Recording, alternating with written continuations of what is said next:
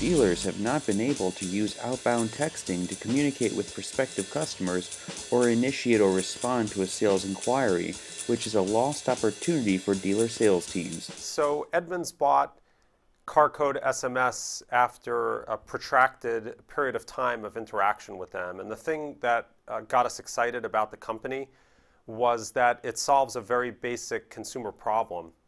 How do you do outbound texting to dealers? We know that consumers prefer to text.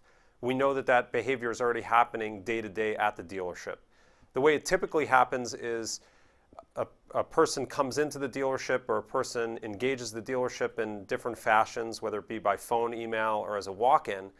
And then as the transaction proceeds, the salesperson uh, usually provides their own personal cell phone and their own personal information so that they can engage with the consumer one on one over a texting platform. And the issue with that is that it's not really integrated with uh, dealership CRM systems. It's also uh, the salesperson could go, uh, leave to uh, another store, or leave the industry entirely, and there's really no uh, protection of the personal information, and it's it's not as organized as it could be.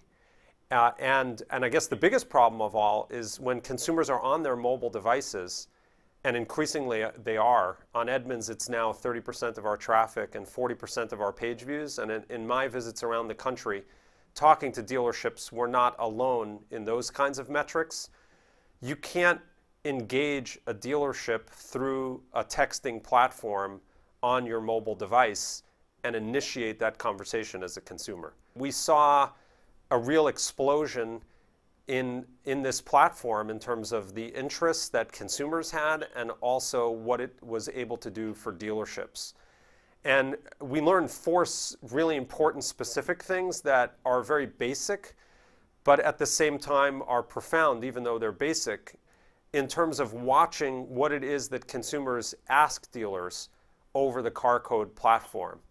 The most popular question is, do you have the car and can I see a picture of it?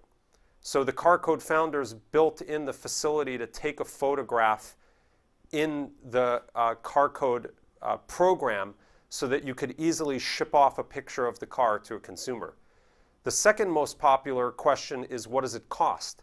So we built into the CarCode platform the ability to send a price promise certificate to people to show them how much the car is being offered for.